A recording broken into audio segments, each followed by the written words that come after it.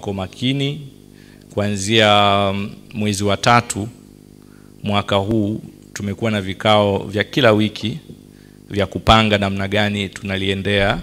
tukio hili la kipekee. Kwa wote ambao watashiriki nasi kwa mwaka huu, kwa maana ya sponsors,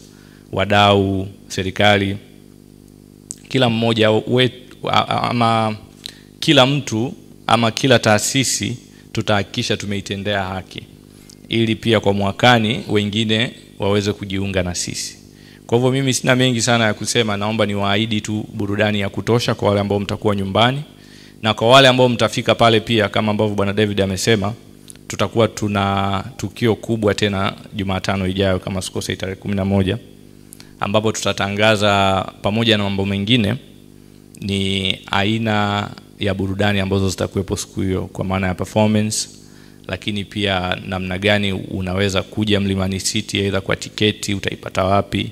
kama unaalikwa